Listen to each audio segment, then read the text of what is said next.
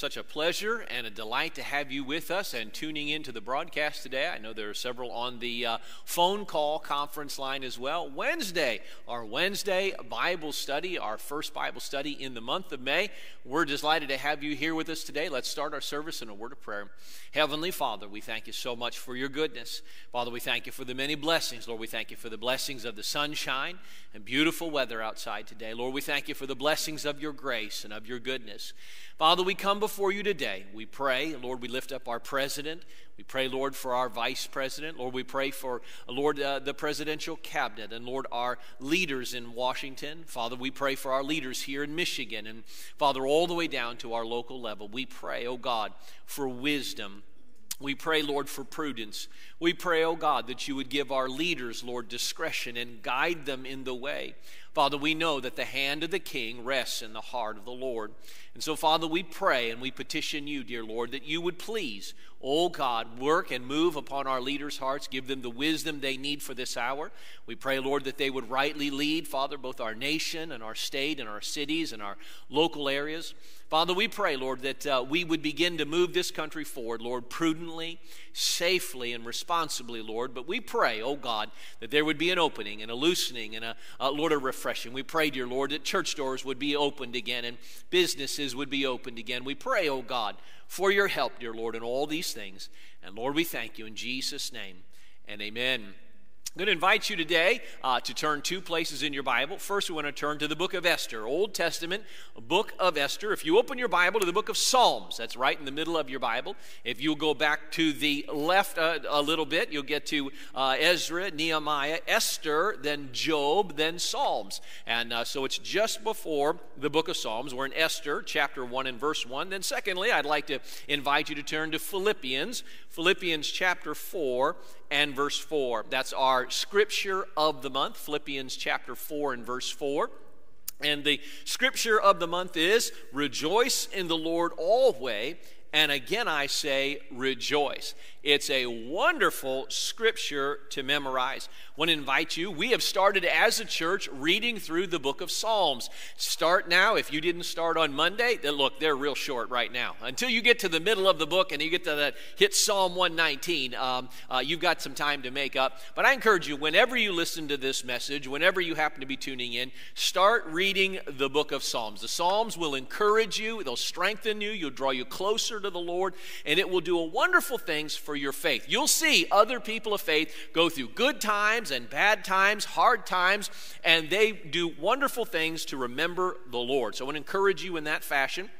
Uh, this is Mother's Day coming up uh, this coming Sunday. As you, if you're watching this broadcast live or in uh, real time, uh, the, it's Mother's Day coming up. So, for all of uh, you that have mothers that are still alive, make sure you plan and prepare now. Plan to call your mother, visit your mother, send her a card, send her something, and be a blessing to her. I want to encourage you. We have a very special services coming up on Sunday, the 17th of May. That's going to be our spring revival. It coincides with the 62nd anniversary anniversary of Rose Park Baptist Church. Uh, we've been around for 62 wonderful years serving the Lord, and uh, we have had scheduled uh, evangelist Scott Pauley. Uh, he was supposed to be here with us. He's not going to be able to be here with us physically, uh, but he is pre recording two messages, and those will both be pre recorded and pre posted on that day, both on our Facebook channel and YouTube channel. And uh, those will be a blessing. Brother Pauley, I know, will be a blessing, a help, and encouragement to you. I want to encourage you to invite others. Uh, do a watch party. Invite other people to watch with you. Share those links. We're going to be putting things out in this next week uh, that will help you to prepare folks for that and uh, some information, some advertising, even a uh, short promotional video from Brother Pauley himself and those will be a blessing. And so please pray that God would use that. Amen. Uh, folks need prayer, folks need encouragement, folks need uh, help from the Lord right now. So we want to really be in prayer about that. Well, now we're also uh, we're starting a brand new Bible study uh, uh, in our midweek services. Uh, it'll be a Bible study through the book of Esther. Now I made this announcement. Um, or let our church folks know. Uh, but if you would like the notes, I do. I will be emailing out the lesson notes uh, ahead of time. Normally, when we have normal Bible services, Bible studies, I do a fill in the blank, follow along for uh, several of our teaching services. But we're going to make those available to you for free. You can, uh, if you'll call the church office or email me, uh, contact us. We will email you out the church notes ahead of time, usually on Tuesday or Wednesday morning. You can get them and then print them out and follow along. They'll not be fill in the blank blank. All the information will be there. Uh, we do have some certain things highlighted, but that helps. A lot of folks like to take notes and, uh, and study along with those. But today, as a way of introduction, this is going to be an introduction to the book of Esther. Some books are very familiar, some books are less familiar. Uh, and the book of Esther is kind of halfway in between. Uh, we all know a little bit about Esther, but maybe not as much as we should. So today we're going to uh, take time to introduce the book. And then next week we're going to jump right into Esther chapter 1 and look at the events in the book and begin to learn and grow and be challenged in our faith. I want to point out we're going to read one verse by way of introduction here in Esther chapter 1 and verse 1 and then get right into our Bible lesson. And the Bible says this Now it came to pass in the days of Ahasuerus, uh, that, is, that is Ahasuerus, which reigned from India even uh, unto Ethiopia, over an hundred and seven and 20 providences. Uh, and then the Bible goes on to describe the situation and the setting that leads into the book of Esther that sets up uh, the order of events that are in. Uh, let's go to Lord in a word of prayer yet one more time. You can never pray too much and ask God to bless this specific Bible lesson. Father, we thank you so much uh, for the Bible. Lord, it's a precious gift from heaven. We thank you, Lord, for its truths. We thank you for its comfort, its grace, its direction.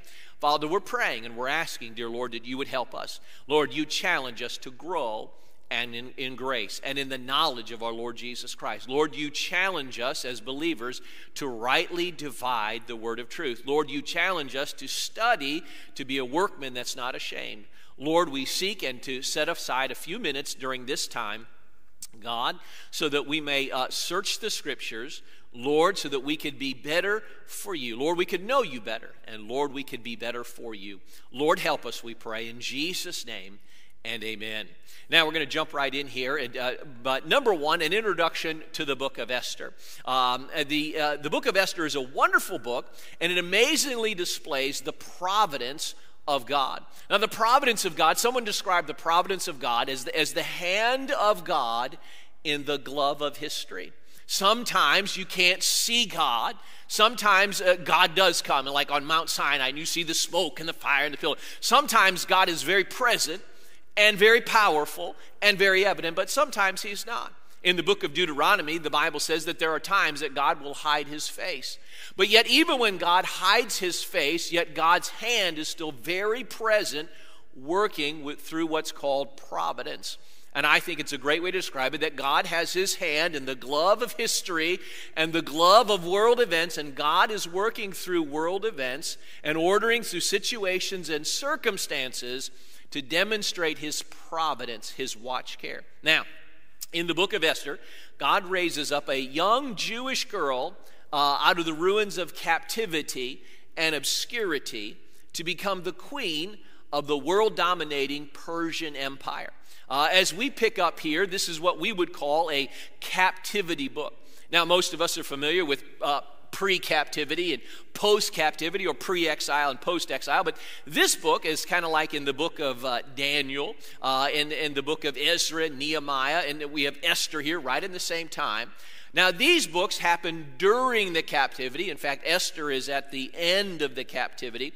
But in the book of Esther, there is a, a, young Jewish girl. Her family, like a lot of other families, got swept up in the invasion of King Nebuchadnezzar. You remember those stories and how Nebuchadnezzar took all of the Jewish people over into the land of Babylon.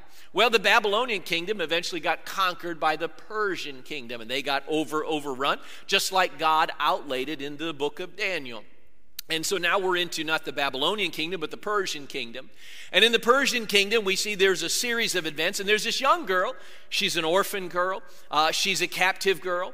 And yet God takes this young Jewish uh, orphan girl out of obscurity and plucks her out and raises her up to be the queen of the most powerful nation in the world. That's a wonderful example of God's providence.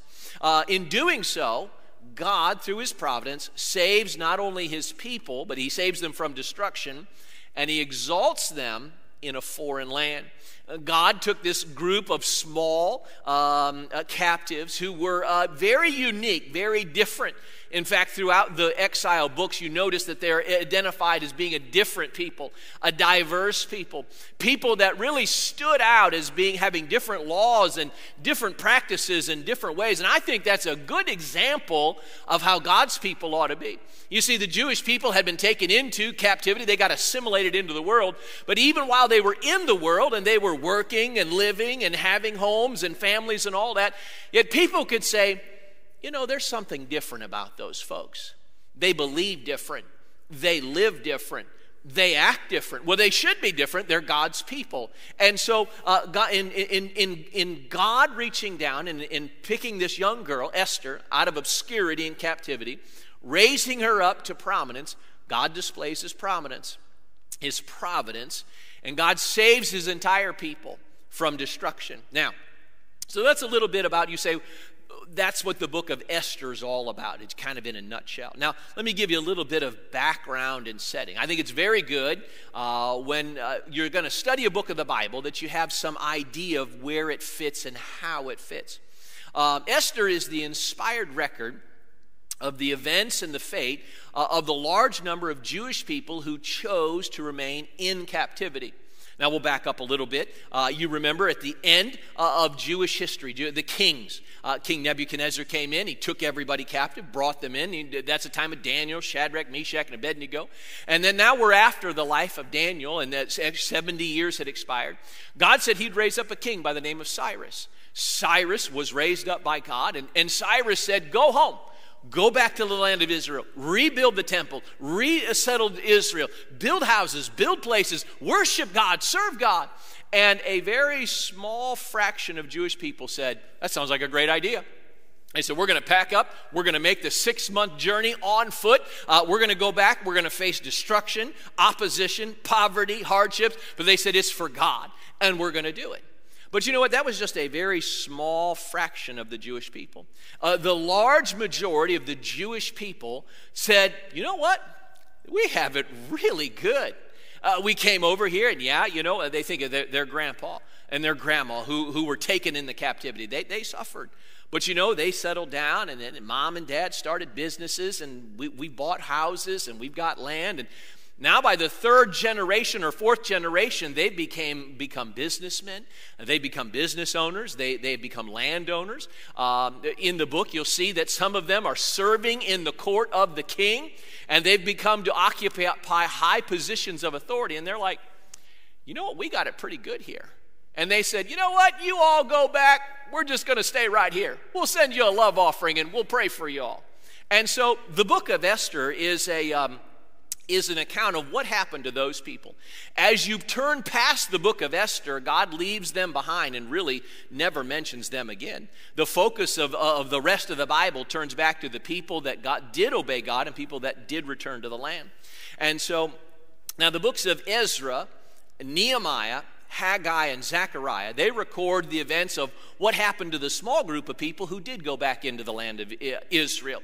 But the book of Ezra records what happened to the people that stayed in the land. Um, and God had sent the people back to the land of Israel uh, to rebuild the temple and to resettle. Now, it's interesting. If you'll hold something here, uh, hold your hand here at Esther chapter 1. Go back with me to the book of Ezra. Ezra is the first of what we call the, uh, uh the, the I'm sorry, I lost my train of thought there. Um, Ezra chapter, I'll just get back in the notes. Ezra chapter 6 and 7. Now, the events of the book of Esther happen in between Ezra chapter 6 and Ezra chapter 7. If you have a if you have a habit of making notes in your Bible, you could make a little note there, and uh, you could uh, put down there the book of Esther or write down Esther. Now, the book of Ezra is broken into two parts, chapters 1 through chapter 6, and all of that happens uh, prior to the life of Esther. Esther, the entire events of the book of Esther, happen right here in between uh, Ezra 6 and 7. And had it not been for Esther, there would have been no Ezra chapter 7. And by the way, when you pick up in Ezra 7, you get into the actual life and ministry of Ezra, the life and ministry of Nehemiah, and then on to the rest of the Old Testament like Haggai and Zechariah and Malachi. Now, listen, had there been no Esther, there would have been no Ezra. He would have been killed. Had there been no Esther, there would have been no Nehemiah. He would have been killed. Had there been no Esther, not only would there have been no Ezra, or Nehemiah, or Zechariah or Malachi, now listen, there would have been no Jesus. So you may be asking yourself, well, how important is it that we take time to study one little book about a lady in the Old Testament who's a Persian living over in the other side of the world? Well, if there was no Esther, there would have been no Jesus because God used Esther in a mighty way to help her people. Now, listen, that's a great important thing for you to know today. Now, listen, you may be saying, Look, God, yes, I understand God knows my name. Yes, I understand uh, God loves me, but I'm not important. I'm nobody. I'm insignificant. Nobody knows my name. Nobody knows anything about me. Can I just say to you, friend, you are very important to God's plan. God has a plan for your life. God has a plan for your life and your existence. And may I say, if there is no you, there's a lot of ramifications. God has a plan for your life. And so that's a little bit about the background of the book of Esther. Now, there's some unique facts about the book of Esther I'd like to sh- uh, share by way of just by way of introduction. The book of Esther is one of only two books in the Bible that's named after a lady that's named after a lady. Of course, you might already know that the second book is the book of Ruth, both of them in the Old Testament. Now, some would argue that the uh, epistle of the second epistle of John uh, was uh, was to uh, was was written to a lady, but it's not does not bear the name of the lady. It's one of only two books in the Bible that bear the name of a lady. There's some interesting comparisons between Ruth and Esther. Ruth uh, is a or was a Gentile who moved into Israel and she married a Jewish man. She became the mother of a king, King David. It's interesting. So you have a Gentile who moves into the land of Israel, marries a Jewish man. God uses her to uh, be the maternal grandmother to a, uh, uh, a great great grandmother to a king. And then you have the story of Esther. Now, Esther is the exact opposite story. Esther is a Jewish lady who is moved to a Gentile land who God, in, through his providence, marries a king, and she bears the kings and queens of the land of Persia. How interesting that is. Two ladies separated by time and distance, yet God uses them in such great ways. So there's a second interesting fact. Number one, uh, that the book of Esther is one of only two books that bears the name of a lady. Number two, Esther is one of only two other books in the entire Bible that never names the name of God. You can look from Esther chapter 1. There are 10 chapters in the book of Esther, and you will never find the name of God in the book of Esther.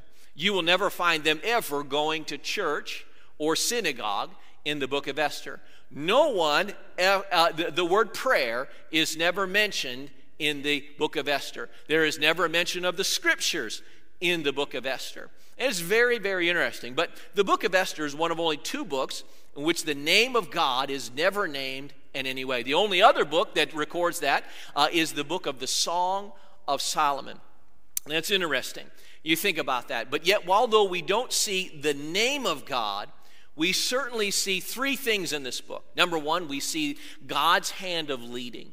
We see God's hand of leading we see God leading not only Esther and her family, but we see God leading the Persian nation. You say, now the Persian nation, if you were to look back, this would be, uh, uh, in our mind, we say Persia. We don't have much reference to that. But if I would say Iran, all right? The modern day country of Iran is the ancient country or area of Persia.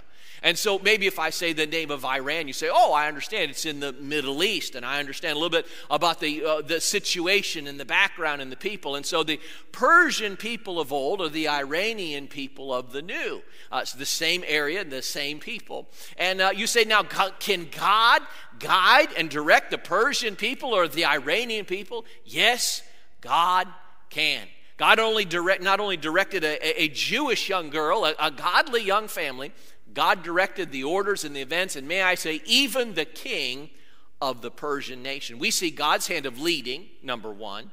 Number two, we see God's hand of providing. We see God's hand of providing.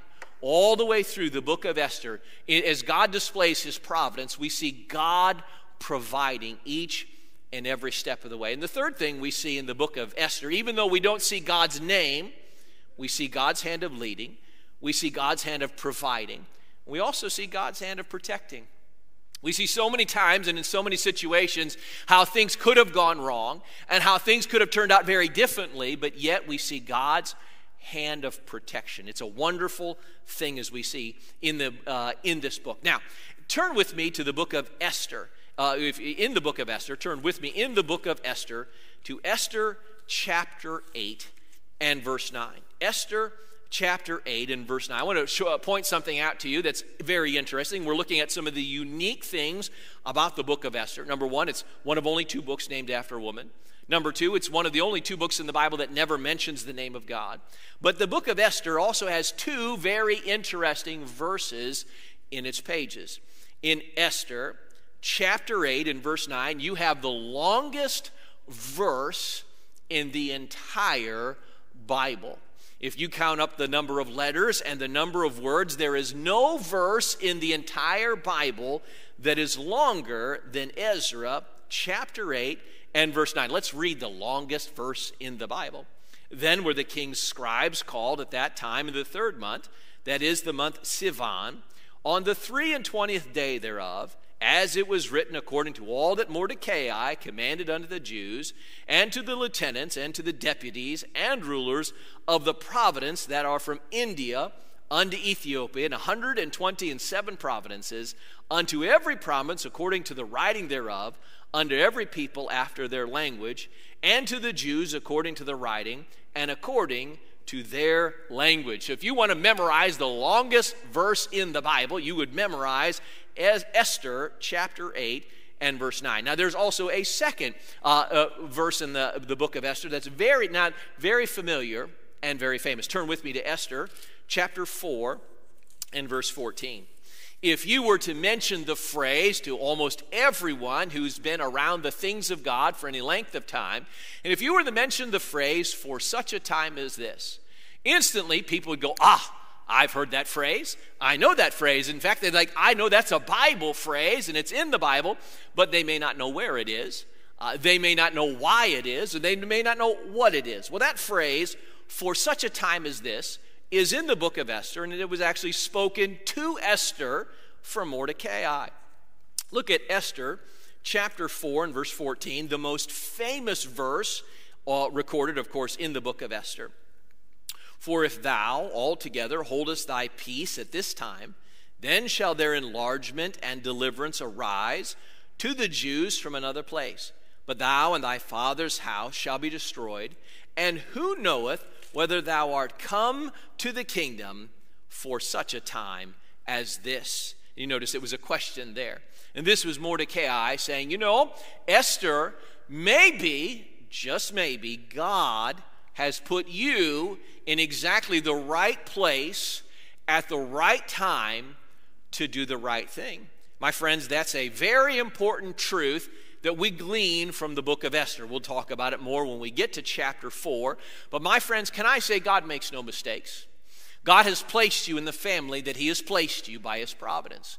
God has put you in the, in the, in the, uh, in the town, in the city, in the job, in the situation, and in the circumstance by no accident. My friends, God's providential hand has brought you through the course of your life and has brought you into the situation you are in for such a time as this. My friend, God has a specific plan for your life. It's an important plan, it's a wonderful plan, It's a specific plan, and God has brought you for such a time as this. Now, listen. I just want to speak to all the moms that are out there today. You got all the little kids around you. You're trying to do school. You're trying to be a mom. You're trying to be a wife. You're trying to figure this out. You're trying to be a school teacher and a principal and all of that. And you're thinking, why me? I'm thinking about the, maybe the single dad that's trying to go through that very same thing and families that are struggling right now just to figure out uh, how to get through this and uh, all these new pressures and all of these new circumstances. I'm thinking of the people whose jobs have uh, flipped around, and I'm thinking of people that are struggling with different situations uh, right now. Can I say, God makes no mistakes? Let me, let me speak very directly to our uh, teenagers and to our young people out there today. And you're thinking, why do I have to be stuck at home? Uh, why do I have to be homeschooled? Why, why, can't I just be, why like, like all the other kids and that went to school and just normally? And uh, why do I not get a graduation? And all those questions. Can I say, God makes no mistakes. And God has raised you up and God has put you in the place He has and God has put you in this time for such a time as this. And God knew you would be there. And God knew the plan He has for you. My friend, when I wanted to just say, stop whining and just stop start asking. Stop whining and just start asking. Say, God, what do you want from me? God, what's your plan? God, how do you want me to, to behave? And God, how do you want me to act? And God, what do you want me to do? God, whatever you do, whatever you want me to do, I'll do. Stop whining and start asking. And so that's the most famous uh, verse in all of Esther. Now let's go back to Esther chapter 1 and verse 1. Uh, we're going to wrap this up here. Uh, in our introduction to the book of Esther. So we've looked at about what is the book about. God reaches down, takes this little orphan Jewish girl, raises her up from obscurity, makes her the queen of Persia, saves her entire people. God uses her greatly. Uh, the book is found in that uh, weird time of exile where the Jews were taken out of the land of Israel, giving you some idea of where it is in your Bible. It's at the very end of Chronicles. Uh, it is uh, in the second half of Ez- Ezra and Nehemiah also uh, around the same time as Haggai and Zechariah, if you want to read other books. So he gave you some ideas about uh, the book itself, it pointed out some unique things in the book. Now, the last thing I want to do here as we introduce the book uh, is to give you some idea of the main characters. The main characters. Now, the first one, of course, would be Esther. Esther is the namesake of the book. It's the main person in the book. Now, she's an Jew, uh, orphan Jewish girl, as we've said, but and she becomes the queen. Now, it's interesting. The name Esther is her Persian name much like uh, Daniel was Daniel's Hebrew name, but when he got there, they called him Belteshazzar. Esther's uh, Hebrew name was Hadassah. Hadassah. That was her Hebrew name, but of course she was living in a Persian land. They called her by a Persian name, and her Persian name is actually Esther. Now, the second main character of the book, uh, turn to Esther chapter 2. Esther chapter 2, look at verses 5 through 7. Now, in Shushan, the palace, uh, there was a certain Jew whose name was Mordecai, the son of Jair the son of Shimei, the son of Kish, a Benjamite, who had been carried away from Jerusalem with the captivity, that had been carried away with Jeconiah, king of Judah, whom Nebuchadnezzar, the king of Babylon, had carried away. Look at verse 7. And he brought up Hadassah, that, oh, okay, that is Esther, his uncle's daughter, for she had neither father nor mother, and the maid was fair and beautiful, whom Mordecai, when her father and mother were dead, took for his own daughter. And so the second main character, as we study through the book of Esther, is Mordecai. This would have been Esther's older cousin. And uh, the older cousin of Esther uh, was probably a grown man. And when uh, uh, Esther's parents died, he took her and he adopted her and he raised her as his own daughter. And Mordecai figures very prominently as we go through this study. Now, uh, of course, now the, probably the most uh, famous person of the book, other than Esther, is the king. If you go back to Esther chapter 1 and verse 1, now it came to pass in the days of Ahasuerus. Now there's a lot of different pronunciations of that. Now uh, it's interesting if you study or if you do a search on his name, his name pops up a lot. But his, uh, his, title, the king, appears some 125 times or over 120 times in 10 chapters. Uh, the word or the title king uh, uh, pops up in this book. And so Ahasuerus, or Ahasuerus is uh, his name, uh, is very prominent in the book. He's the Persian king. Uh, he was the son of Darius the Great. if you know your history, eh, you've heard about the Battle of Marathon. The Battle of Marathon, the Persians sailed across the Mediterranean Sea. They wanted to invade Greece, and they beached on the, the, the um, little island there, and the Athenian warriors came down and they beat them uh, on that little beachfront. And, and, and a man uh, ran uh, 26.2 miles back to the city of Marathon uh, to declare the victory. That's where we get marathon, a marathon. That's why it's that specific length of miles, is 26.2 miles, was because the uh, Athenian soldier ran from the beach after the defeat of the Persian army. He ran back to the city of Marathon, 26.2 miles away, to deliver the good news. And people have been running marathons ever since. Well, that was Darius the Great, and he was the father of this man, Ahasuerus. Now, Ahasuerus is actually his title, just like we would call our, our president. We have our president is Donald Trump. Uh, president is not his name, president is his title. The name Ahasuerus uh, is his title, it means venerable king. And most likely, this would be the king, and known in secular history as Xerxes. As Xerxes, and sometimes you'll see his name throughout other parts of the Bible. Now, there's a third uh, or a fourth prominent character, and that's Queen Vashti. Look at uh, Esther chapter 1. 1, Esther chapter 1 and verse 11. To bring Vashti or Vashti, the queen, before the king with the crown royal to show the people and the princes her beauty, for she was fair to look on. Now, Queen Vashti would have been the reigning queen of Persia. Now, the king of Persia, uh, Ahasuerus, would have had many wives, but he only had one queen.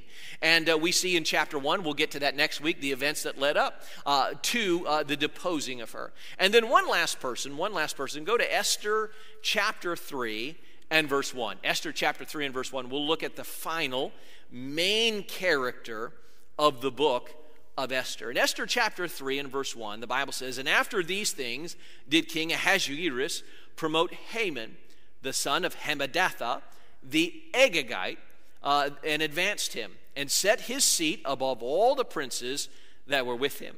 Now that's interesting, that title, the Agagite. Uh, there was a king Agag, whom King Saul spared uh, in his life and in his time.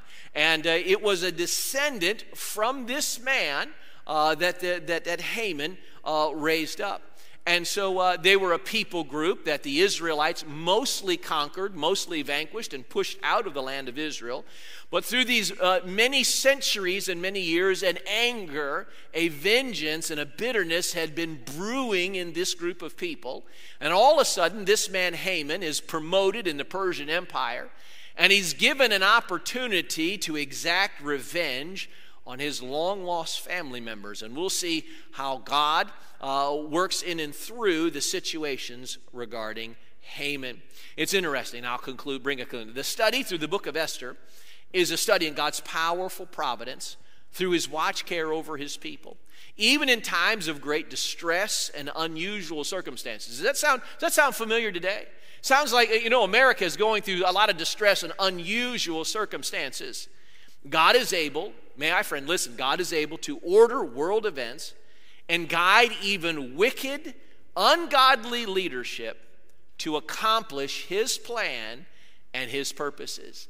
That's why the book of Esther, I believe, is the perfect study for such a time as this. Let's pray. Heavenly Father, we thank you, Lord, for this time. We thank you, Lord, for an introduction uh, to the book of Esther. Father, I pray that you would please, as we uh, continue on during the next uh, few weeks and months, Lord, I pray that you would strengthen our knowledge of the Word of God. I pray, dear Lord, that you would help us grow closer to you. And Lord, I pray that you would please, dear Lord, help us to find greater confidence in you. Father, we thank you, Lord, for this. And we, Lord, we ask all of this in your uh, wonderful and blessed name. In Jesus' name we pray. And amen. I want to thank you for watching the broadcast today. Uh, if you've never come to a saving knowledge of the Lord Jesus Christ, if you would say, I don't know if I'm on my way to heaven, would you get a hold of us at the church? You can send us an email, you can call us at the church office. We'd love to take the Bible and show you how you can know for sure uh, that you can be forgiven of your sins. Maybe you have questions about the Bible or about our church. We'd love to uh, answer those questions. Give us a call. Uh, uh, thanks for tuning in. Until we meet again, let's keep looking unto Jesus.